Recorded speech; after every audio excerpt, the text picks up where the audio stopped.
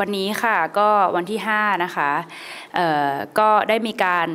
สั่งการให้กระทรวงการคลังและกระทรวงมหาดไทย ร่วมกันจัดตั้งคณะทำงาน เพื่อการศึกษาความเป็นไปได้ และก็ความเหมาะสม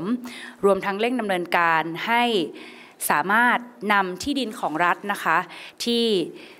อยู่ในความรับผิดชอบของรัฐที่มีอยู่เป็นจำนวนมาก ให้สามารถนำมาทำประโยชน์ให้กับพี่น้องประชาชนได้ โดยการนำที่ดินของรัฐดังกล่าว มาสร้างที่อยู่อาศัยให้กับประชาชน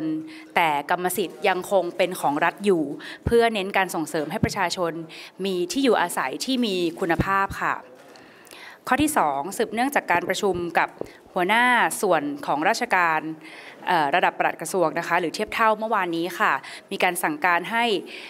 มีความร่วมมือระหว่างกระทรวงต่างๆ ให้บูรณาการ การทำงานให้นโยบายต่างๆสำเร็จได้ เช่น ในกระทรวงการคลังช่วยเร่งรัด ติดตามการเบิกจ่ายของภาครัฐ โดยเฉพาะอย่างยิ่งเรื่องของงบลงทุน อันที่ 2 ก็คือให้หน่วยงานร่วมมือกันในการเชื่อมโยงข้อมูลให้สอดคล้องกับนโยบายดิจิทัลกอ v e r n m e n t ของรัฐบาลค่ะ แล้วก็ให้กระทรวงอุตสาหกรรม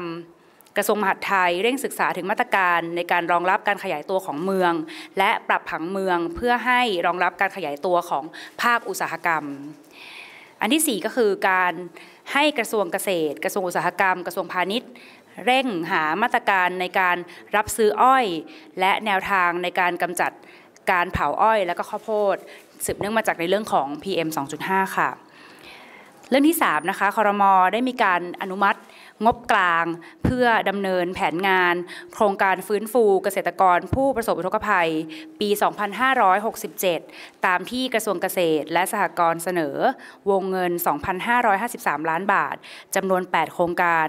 ทั้งโครงการฟื้นฟูอาชีพ หลังน้ำลด การฟื้นฟู